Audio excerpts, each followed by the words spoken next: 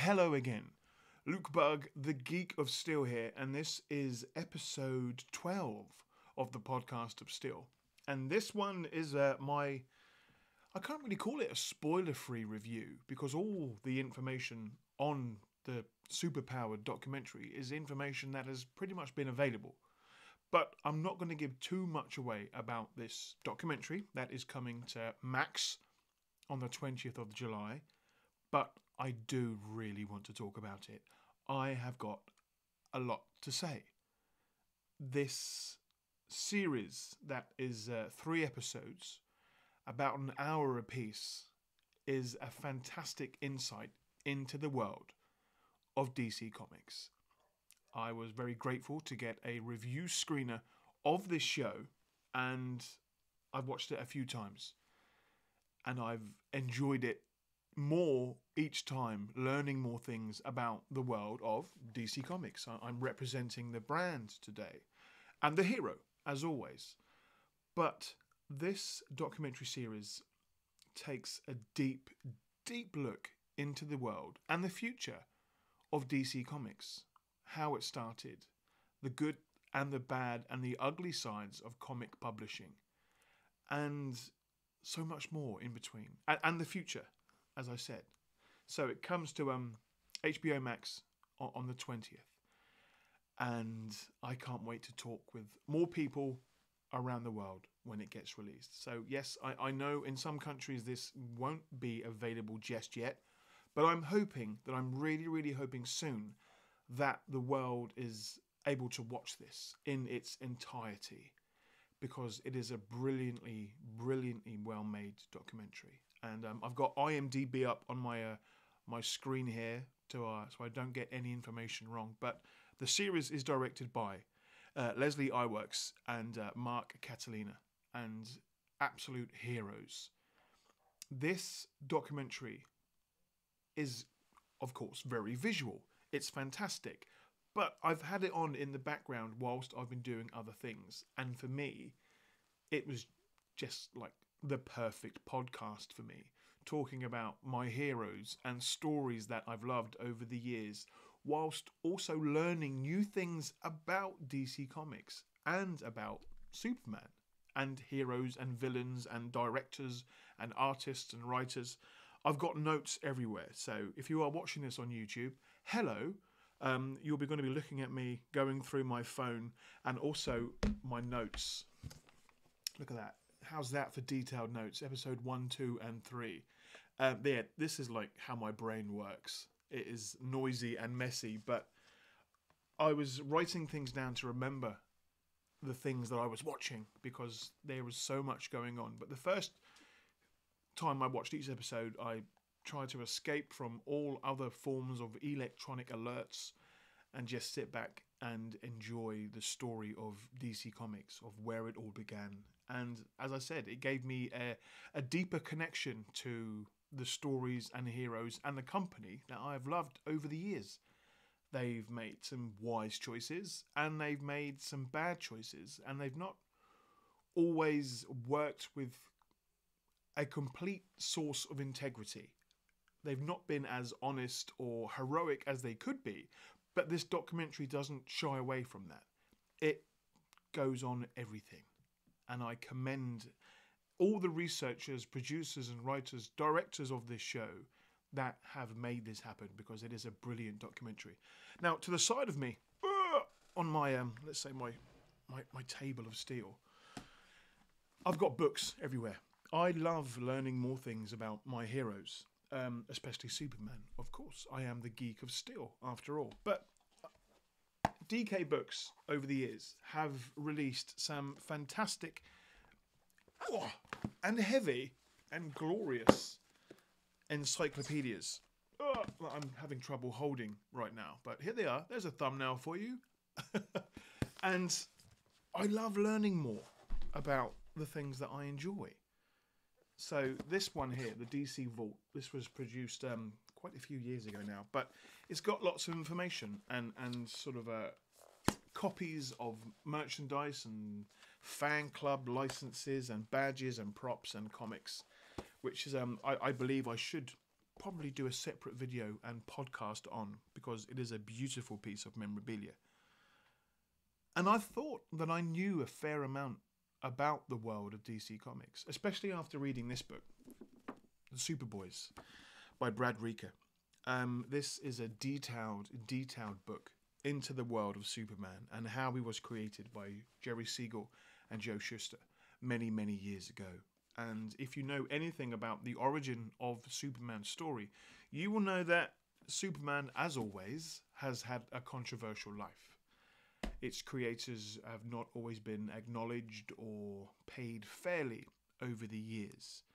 Licensing has always been sometimes problematic in the world of comics and movies, and that is featured in this documentary. Nothing is, is left off limits, as it were. There were a few things that I feel could have made this documentary better, and I will get to those things towards the end. But if you love these characters as much as I do, and you're still wanting to learn more things about new storylines, then this documentary is for you. To give you a deeper bond, as it were, to not only these stories, but the heroes that brought them to life the creators, the artists, the writers. Everybody in this documentary gets their story told. Now, these are only three episodes with, as I said, about an hour apiece. There's so much more that could be covered. And I'm really hoping that this was a was a test, as it were, and in the future we get more episodes, deeper dives into the worlds of these characters and these stories. Because as we know, Superman now is what, 85 years he's been around for. That's 85 years of comics and TV and films and storytelling and the ups and downs of DC Comics. There is a lot more that could be told.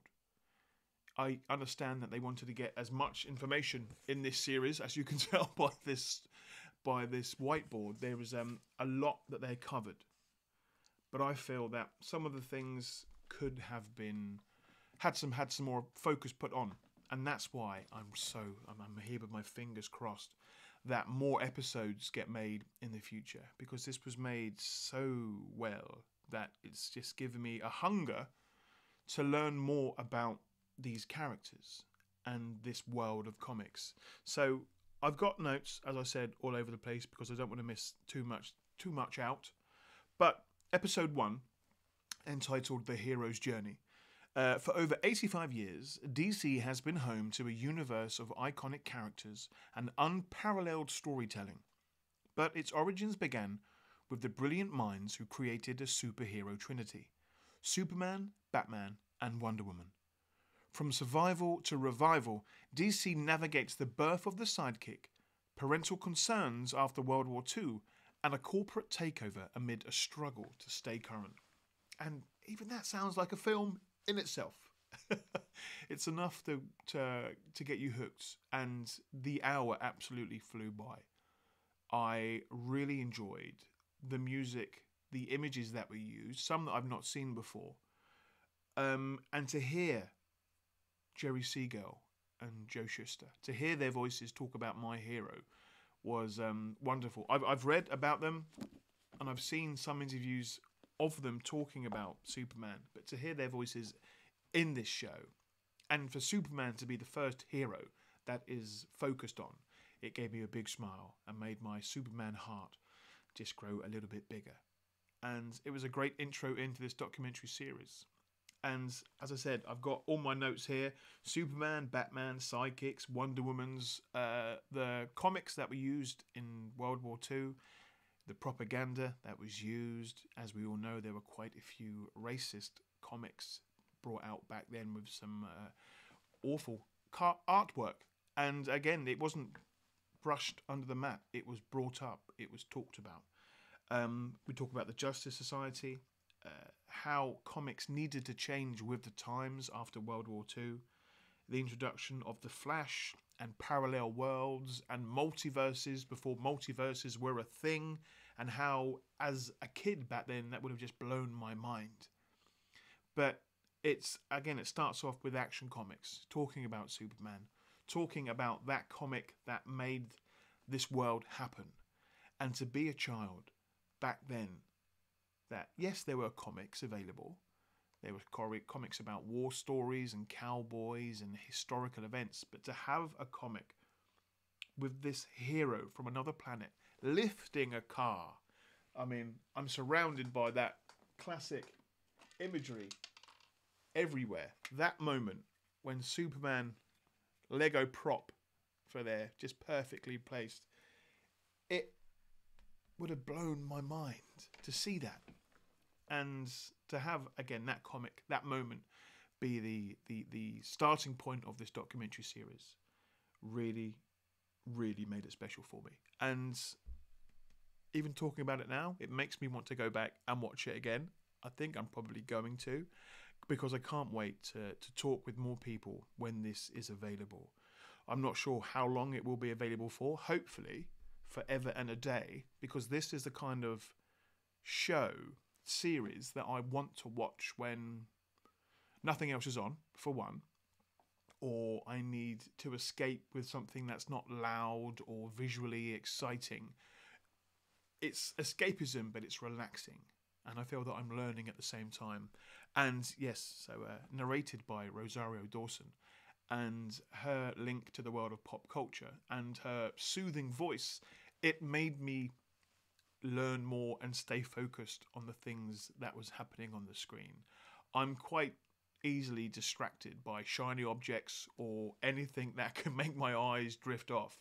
But for this series, for all three episodes, I was glued to the screen. I didn't want to look away, and that's why, the, as I said, the first few time, the first time I watched it, it was just me and the screen, and it was perfect escapism whilst also learning more about this world that I've come to adore over the years. And they've got pretty much everybody that is from the world of comics, those that are with us and those sadly that have passed away, talking about their heroes, talking about the world of comics, talking about the good and the bad side when it comes to working with publications and companies and copyrights and it's just beautifully beautifully done. And I would say DC Comics of course is my my team my go-to but the world of Marvel Comics had to be addressed and they do talk about Marvel in this series how some of the comics and the way of storytelling had to change with the times and when Marvel came around, they were doing things in such a, a dynamic and fresh way that DC Comics had to follow suit. And again, without spoiling too much, they handled that moment in time very, very well. But the whole series, it's sort of multilinear. It travels through time. It goes back to the very early days, up to modern day, and it skips backwards and forwards, but not in a confusing way. It really does help to explain how they've grown over the years by showing where they've come from. And these interviews with creators and artists and writers, that a few of the quotes I, have written down because they are simply beautiful word piles. It really is a must watch for any fan of superheroes or comics or history. It's done so so perfectly well. Um, yes, but I say on, on to episode two. I'm not sure how long this episode will be because I know that when I'm I'm going to start talking about this TV series, this documentary, I'm not going to stop. So I will try to keep it under an hour. I think I can do that. But episode two. So episode two is titled "Coming of Age." During a period of declining comic book sales, a bold move resets DC's entire universe as the company decides to also take a gamble on a new Superman movie while rivals begin to address pressing social issues. A determined DC introduces their first black superhero and breaks story boundaries under their new imprint, Vertigo Comics, with the hopes of maturing comic books into an everlasting adult art form. Now, you can probably tell by my notes here. Light Blue was episode 1, Episode 2 was in purple. Episode 3 was in red. I couldn't stop listening and watching episode 2, mainly because my boy features a lot in it. Whether it's superhero comics, the superhero movie with Christopher Reeve, it's got everything in it. And everything that I love anyway. But other than that, there's still lots of new things in here that I've wanted to learn more about now. So there are some comics that are still on my to read list. You can see my shelves of steel there behind me and, and my long boxes underneath. I'm constantly learning new things about Superman and DC Comics and other heroes. It's a never ending library, as it were, of things for me to enjoy and experience. And I'm enjoying, you know, stepping out of comic comfort zones, as it were, and reading new stories. And I've picked out a few that were mentioned in this show. Tom King talks about uh, New Gods and Swamp Thing, stories that I've wanted to read for a while, and now I want to more because I've learnt more about them through this show. Um, sort of a man can't live on, on Superman alone, as it were. Well, I, I, I can't. I, I'm learning new things about Superman, but I want to learn more things about Wonder Woman, about Batman, about the villains, about New Gods, about just the world of DC Comics after watching and enjoying this show. But yeah, episode two, lots of focus on Superman and the Batman movie. Um, whereas episode one did touch on uh, the Batman TV series from the 60s. Again, the good and the bad sides of it. Um, it was done very well. I, I again, I don't want to spoil too much, but some people love Batman series, some people not so much. And in this documentary, that they talk with people that have been associated with Batman all their professional lives. Some liked it, some were inspired to take on new projects to, to change the way that Batman is perceived by the general public. But it was still a huge part in the world of DC Comics when the Batman TV series began. And everything over the DC Comics decades, there's there's been something that they've always tried something new. They've always tried to be innovating and entertaining whilst clinging on to those core values of heroism and interesting and exciting storytelling. That's what I got out of this documentary is that they're always learning and always trying to do something new. Sometimes it works, sometimes it doesn't. But yes, in this episode, lots of things were mentioned. Um, also, Lynda Carter is in this episode talking a lot about Wonder Woman and what is not to love about Lynda Carter. They do uh, speak with other celebrities as well. Henry Cavill does appear in this documentary talking about Superman. That was a uh, bittersweet to hear him talk about Superman in such a beautiful way, but you know, we um we soldier on, and that's the thing. These characters over the years will be played by different people. We know now that we have got a new actor playing Superman. We've got a new world of comics and stories and movies coming. So, as I've always said, we must respect the past and embrace the future. And this documentary does that so well. So, so well. Um, but we've got Aquaman in this episode. We've got the Joker. We've got gambles that the DC Comics took when it came to the world of storytelling. As, as I said, some worked and some didn't there were some beautiful moments in this episode uh, that talked about Neal Adams, who is sadly no longer with us. And this particular episode, it did end with a memorial with um, a little piece for Neal Adams and George Perez, which brought a smile to my face, knowing that these two heroes of the world of comics are still being respected and adored and missed, as they always will be. But yeah, this episode for me, it it has a lot. I feel this one it was the most one that had things crammed into it.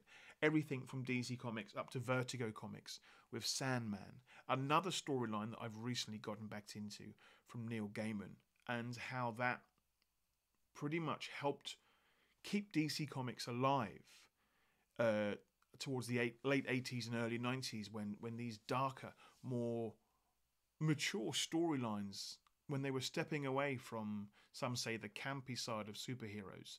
They had to try something new and edgier. And again, it worked because Vertigo Comics came to be, and it, and it really did give a boost to DC Comics. And yes, this episode had so much in it. I could have had like five hours on each episode. Um, I, I felt after watching all of these episodes that I wanted to learn more. I want to take a doctorate in DC Comics if there is such a thing because I feel this show, yes, has only just sort of scratched the surface, as it were. It's given me um, a thirst and a hunger to learn more about Superman and comics and the way that the the business side of things sometimes takes precedence over the story, over the creation, and that is talked about in this ep- in these episodes. When it came to a point in time when people were really there was a comic boom. People weren't interested in the stories; they were interested in collecting comics for the financial side, the investment of having a rare comic. And I feel that was a, a sad time when people were more interested in just storing them away and not reading them, not enjoying them, not having the pages become dog eared when a story becomes so well loved that you read it over and over again. And there's a beautiful moment in, I think, episode one where we go into Jim Lee's studio. Oh, even through a secret panel in a in a bookcase, in a bookshelf in a different room.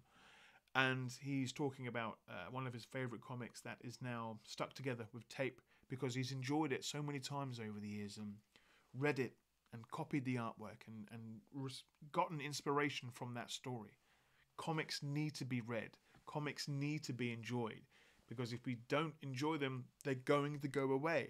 Same goes the films, they would go in the same direction. And there was a fantastic quote. Now I'm talking about that as I'm going on a massive tumble of words out of my mouth because I'm excited to talk about this show. Where are we? Where are we? Here we go. Um, is from Mike Carlin, who is a Superman editor and a, and a fantastic ambassador for DC Comics. Essentially, he said when it became when Superman comics were dwindling and we had the whole the death of Superman moment, he said if you're not going to water the flower, it's going to die. And this is when people were sometimes upset about this whole thing that the most inspirational thing that Superman ever did in the comics was die. And people were saying, well, I, I don't read Superman comics. But these were the same people that were saying, don't kill him off. You can't kill Superman. He's an iconic character. He's a huge part of the DC universe. And people who were saying this hadn't been reading the comics. The comics world was sort of dwindling away and the death of Superman certainly did bring readers back. One of the uh, the most, I would say, controversial and exciting moments in, in comic book history was the death of Superman, and then, of course, the return of the Supermen and the reign of the Supermen. And again, there are documentaries about that online. It needs to have like a whole documentary series about the death of Superman, about those stories, about that crew of people that decided to sit down in a room one one afternoon, and uh, Jerry Ordway sort of you know had that idea. Well, let's just kill off Superman. You know, let's just do that. Let's see what happens. But yes, episode two was brilliant, and again, I've got a phone that was is full of quotes that I will get to, and but again, I've just got notes everywhere because I can't stop thinking about this show. And I'm, I'm going to watch it again tonight. Today is Sunday, the 9th of July. This episode will be going live on the 10th of July when the embargo lifts. And I'm excited to share it after that. Um, but there was, again, Paul Levitz, who um, has been on the podcast a few years ago talking about the world of DC. He said this quote that I'm looking at right now if the Christopher Reeve Richard Donner movie hadn't succeeded, DC might have ended up with a very, very minimal publishing schedule, and the company that you think of might not have survived. And I, I love, clearly, I'm biased because I love Superman, but Superman does feature a lot in this documentary series, as does Batman, as does Wonder Woman. You can't not have the Trinity in a documentary documentary series about DC Comics. But they do try and cover as much as possible. And they do a fantastic job of, blending it all together while not overloading you with information, but also keeping it structured so that it's like a story being told. There is a beginning, a middle, and an end, much like a classic comic. And yeah, I'm looking going forward again, going back to watching more things about this series. But they do towards the end of this episode, episode two, they talk a lot about Kingdom Come. And there are interviews with Alex Ross and Mark Waid. And goodness me, I could listen to Mark Waid and Alex Ross talk about Superman and Kingdom Come for hours, for absolute hours. And um, I've written down some of their very, very long quotes. This one, let's have a look. I'm just scrolling through my phone now because I've got voices of everybody and quotes from everybody in this phone. Okay, I'm going to just look, get lost now. I'm boring you now because I'm just scrolling through my phone, but I probably won't edit this out because I'm too excited to share this particular podcast with you all. But anyway, this is what Mark Waid, this is one of the quotes Mark Waid said about Superman. That's what makes Superman Superman. Superman's greatest superpower is not that he can fly or that he can lift a car. It's that with the ability to do anything, take anything, have anything he wants, he's selfless beyond reason. He will never ever put himself first and his needs and his wants before anybody else's. And that is an amazing superpower. Oh, it's just making me smile, read all these beautiful quotes. And yes, this oh, this was the one. This was talking about when Superman 78 first came out. You know, this huge gamble, this huge moment. They do mention in the film that Superman the movie wasn't the first superhero movie. It was actually Shazam many decades before. But Superman 1978 happened and pretty much, you know, that became one of the the ultimate superhero movies to watch and enjoy and why it's still enjoyed today. But Mark Waid said this about when he first watched the film. I went into that movie theatre just feeling like no one cared about me. No one saw me. No one heard me. Superman cares about everybody.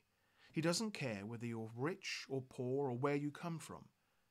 And I came out of that movie convinced that whatever I was going to do with the rest of my life, it was going to have to have something to do with Superman. And I love I love that. I absolutely love that. That's to me is is what why Mark Waid is just a fantastic human and a fantastic Superman creator and a Superman ambassador. And it was a, a beautiful thing to, to listen to. And again, it's why I, I would love to interview Mr. Mark Waid again in the future at some point to talk about what Superman means to him. We did share an interview a few years ago, but but Alex Ross is a another one of those white whales that I would just absolutely adore to not only listen to him talk about Superman, but to ask him some questions about Kingdom Come, because to me that story is very very special when it comes to the world of DC Comics and the world of storytelling. And if you haven't read it, sit yourself down and enjoy it because once you start reading it, you won't be able to stop. But um, as I said, there was um, a little Henry Cavill quote in episode one. I'm going back to this one now, without you know giving too many spoilers away. And but Henry Cavill said this. He's someone who is always trying to do the right thing. That's his genuine intention. Even if he doesn't achieve what he sets out to do, he will make the best effort to make amends and there's so much which hasn't been told or said about him up until now. And yes, that quote was probably said before everything changed and he wasn't Superman anymore, but he st- still will always be Superman. As will Christopher Reeve, as will Tom, Le- Tom Welling, as will Kirk Alyn, as will George Reeves, as will Brandon, Dean Cain, and everybody else over the years, including Tyler, who's doing a fantastic job on Superman and Lois and also the voice actors. I'm on a rant now.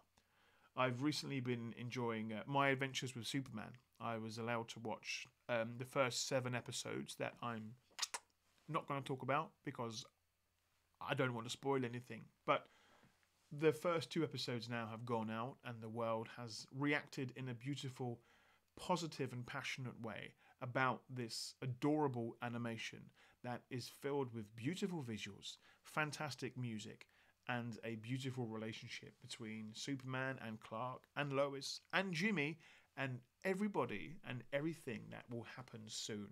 I'm trying my best to uh, avoid spoilers, but it's a beautiful, beautiful show.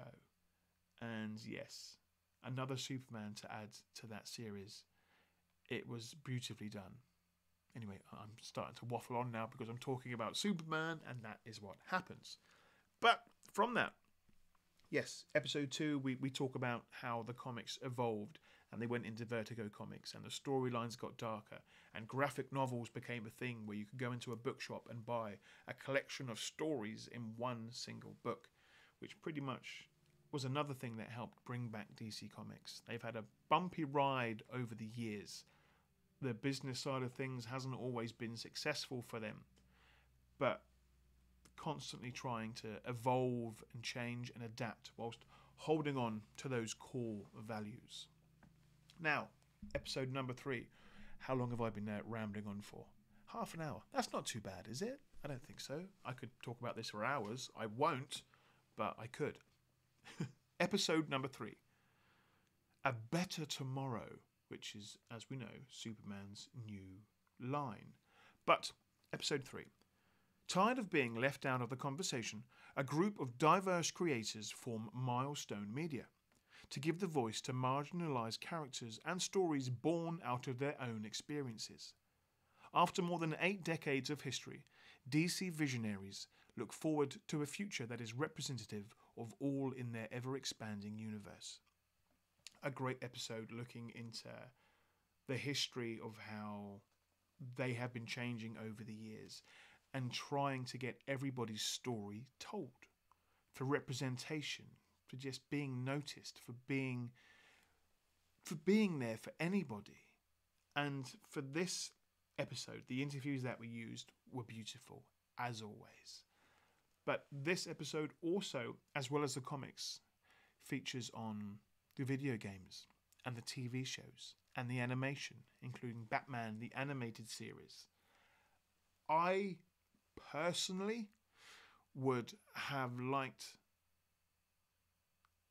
a bit more attention. Well, here's the thing spoiler alert Smallville doesn't appear in this documentary series at all. Um, the, the, the Flash universe and, and Green Arrow, that gets featured, but there's no mention of Smallville. Now, for me, Smallville being a show that many of you know was the reason why I got into Superman.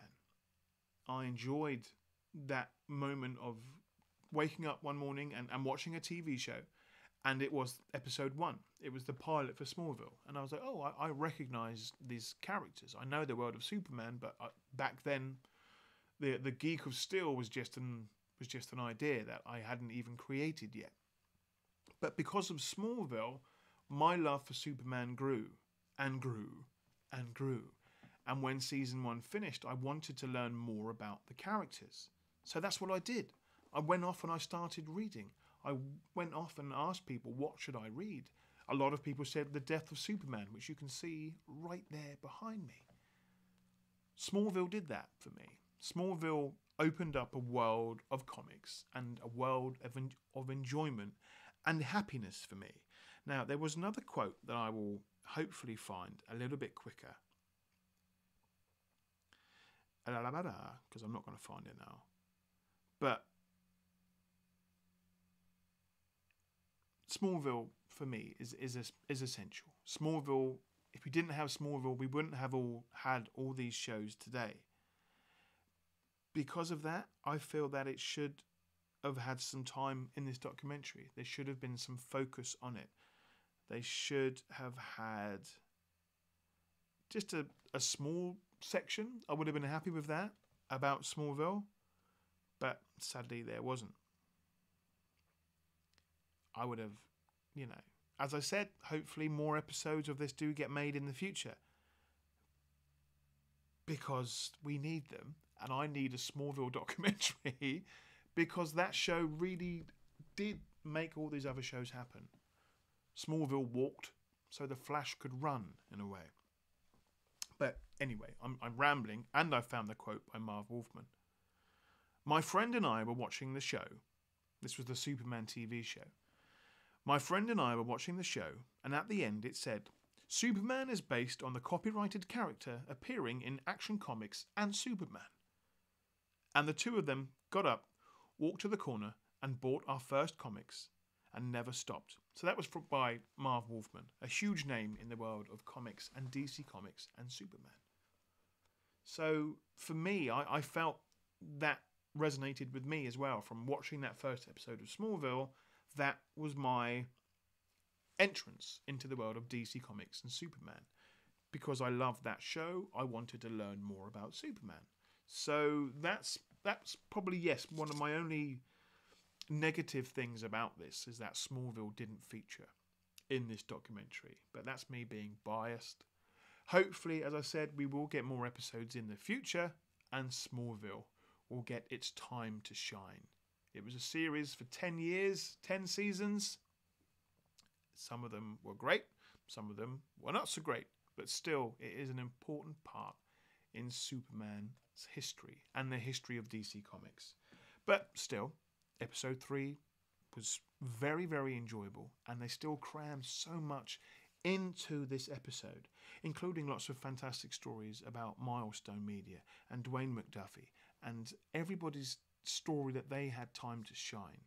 And again, the good and the bad when certain gambles that DC Comics took, certain business ideas didn't happen, and there were comic crashes and comic booms, which I'm sure will still happen in years to come. Comics have had to evolve with the times, whether it be digital sales or still printing comics. Comics will always be relevant.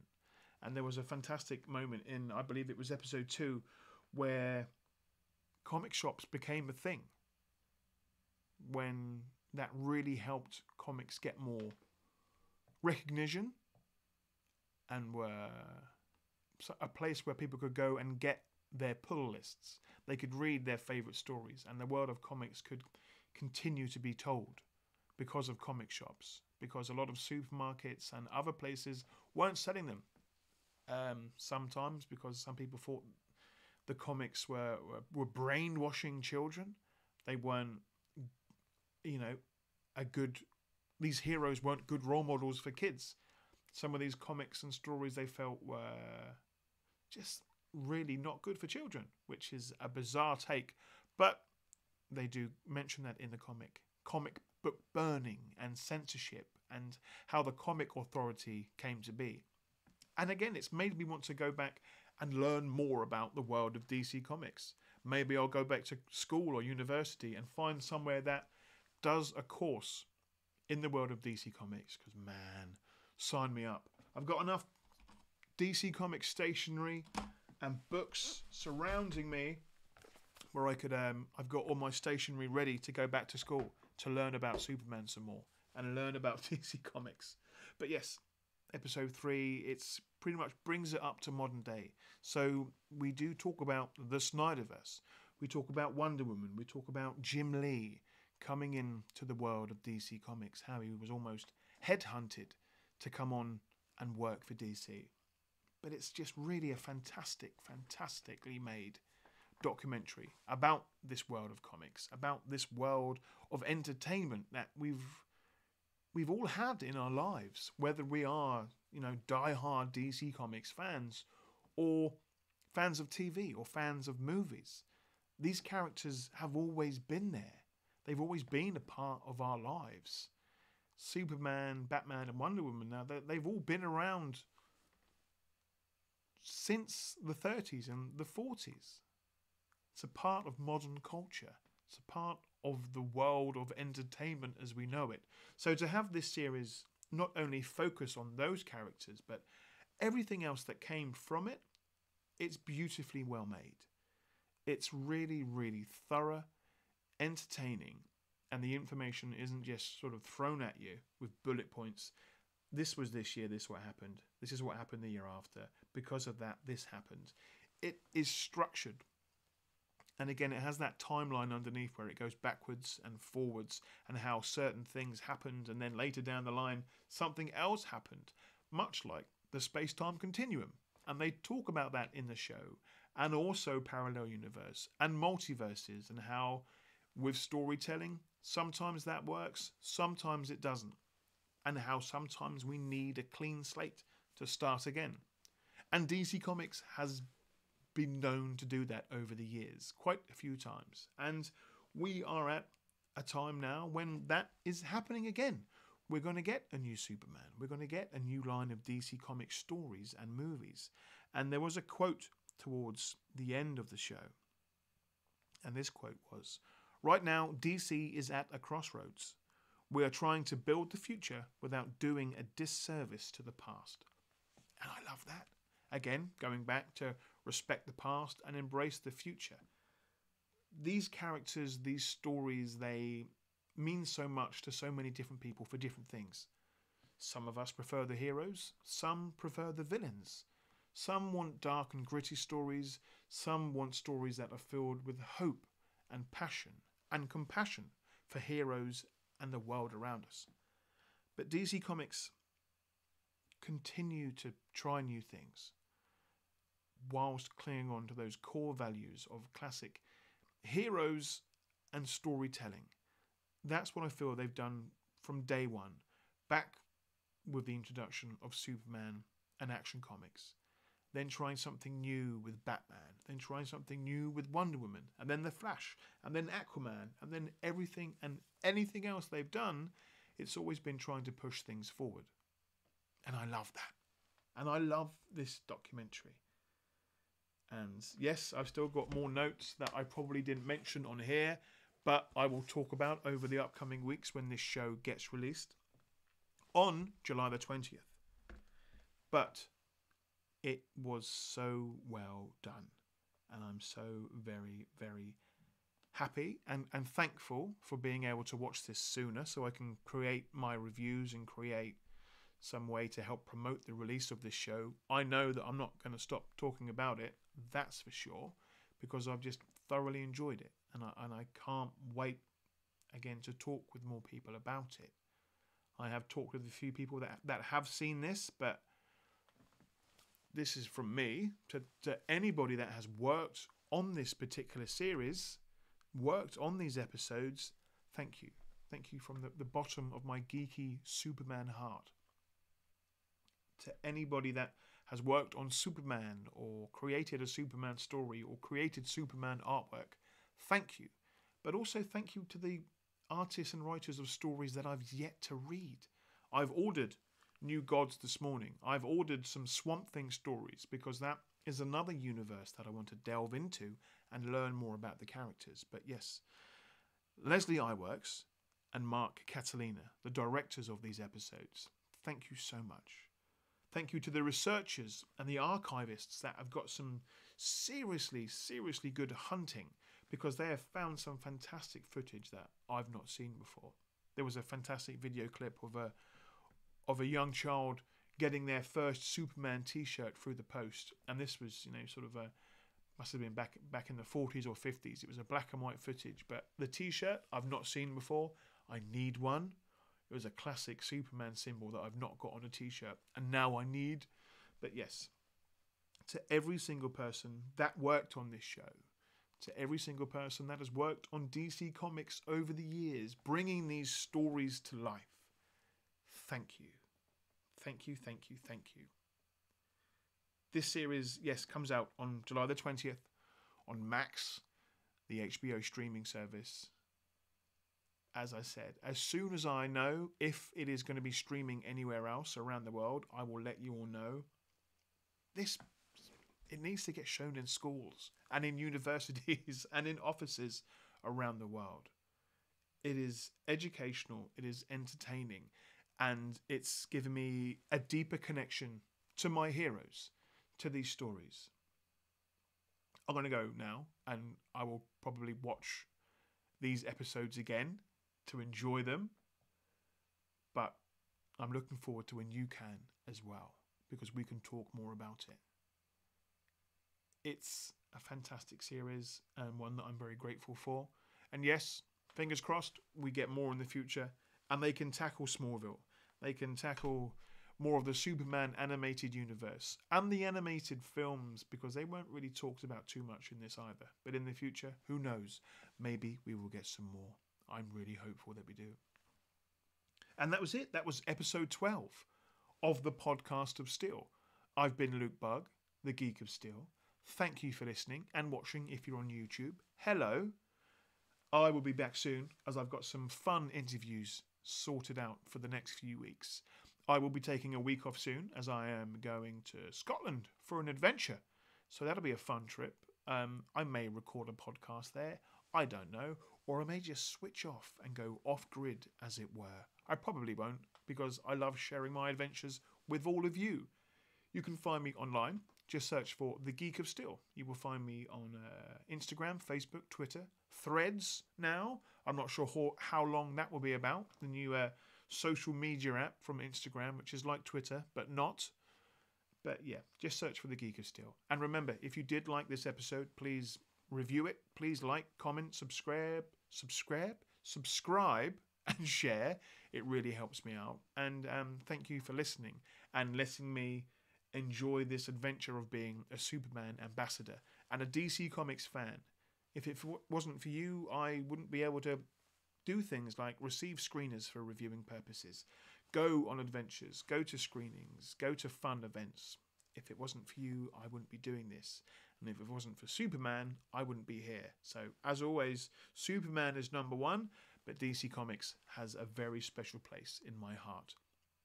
Please, when this episode is um, available, when these episodes are available, go and enjoy them. We can talk about it. Send me a message. Comment on my posts. I want to talk about this series as much as I possibly can. I need to know more. I need to know more. I'm Luke Bug, the Geek of Steel. Thank you for listening, and I will be back soon with a brand new episode of the podcast of Steel.